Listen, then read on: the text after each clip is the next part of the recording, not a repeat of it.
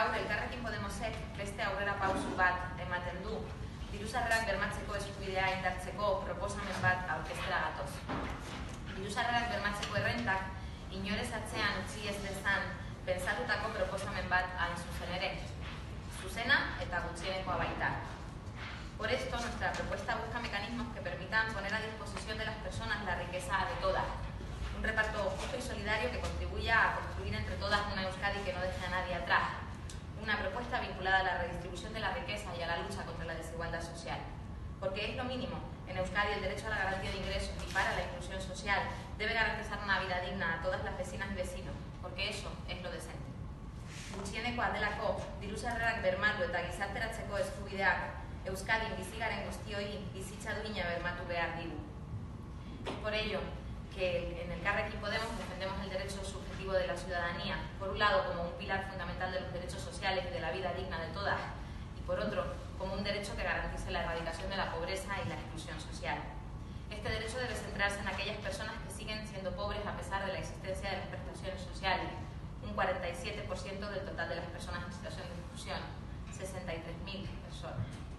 También debe fijarse en las 59.497 que hoy no acceden ni al sistema de protección de la RGI ni a ninguno otro, a pesar, está claro, de necesitarlo. En total, un derecho que debe atender a las más de 190.000 personas que hay en Euskadi en situación de pobreza o en riesgo de estable. Un derecho que atienda con especial cuidado a los más vulnerables, a las familias con niñas, niños o adolescentes, a las familias monomarentales, a las personas trabajadoras precarias, a las paradas de larga duración, un derecho que cuide también a las mujeres pensionistas, perfil mayoritario sujeto de este derecho. Un derecho que atienda al conjunto de la población para acabar con la pobreza. Para trabajar sobre esta máxima planteamos una serie de propuestas articuladas en torno a los siguientes puntos principales. El primero, proponemos una RGI que acabe con la pobreza, retomando la indexación al SMI y mejorando los porcentajes de percepción para reducir las desigualdades sociales en Euskadi. Presentamos un servicio de garantía de ingresos que se centre en la gente, que desvincule la RGI del empleo y de los servicios sociales y se centre en el derecho a la garantía de ingresos, que es de lo que se tiene que ocupar. Reconocemos el derecho a la información y al respeto a las personas, utilizando herramientas para la protección y el manejo de datos que cumplan estrictamente la ley y respeten la voluntariedad de las personas.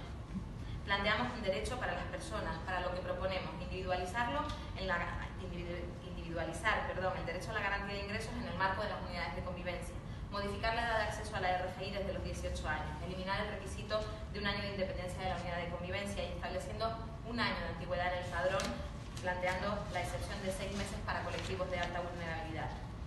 Proyectamos un derecho que garantice la igualdad, que incorpore la perspectiva de género, que valore el derecho a los cuidados y a la conciliación, que preste una especial atención a las familias monomarentales, a las trabajadoras de hogar y a las víctimas de violencias machistas, a las supervivientes de violencias machistas porque hoy en Euskadi la pobreza tiene rostro de mujer.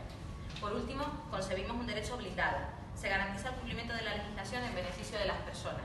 Se propone evaluación y participación ciudadana, estructuras de coordinación efectivas y locales, con coherencia política entre la garantía de ingresos y la redistribución de la riqueza.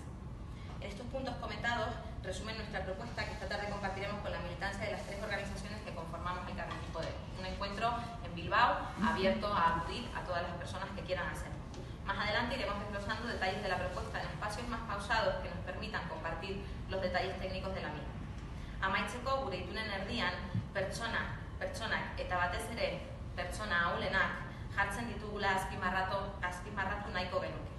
Eskubideak, eskubideak murriztu arazoei adabakiak jarri edota euren eskubideetatik pertsona kaleratu, kaleratu nahi dituztenei argi eta garbi aurrean edukiko dituzte. Azkenik gogoratu nahi dugu gure eskua zabalik dagoela herritar guztien egoera hobetzea helburu. Finalmente subrayamos que ponemos en el centro de nuestras propuestas a las personas, especialmente a las más vulnerables, siempre. No hacemos pactos de despacho, queremos prestigiar el derecho y eso pasa por un debate responsable y público. Recalcamos nuestra oposición frontal a quienes estén en esto para recortar, para poner parches o para expulsar a las personas de su capacidad de ejercer el derecho a la garantía de ingresos recordamos que nuestra mano está tendida al diálogo con quien quiera avanzar hacia una vida más digna para todas las personas en Euskadi.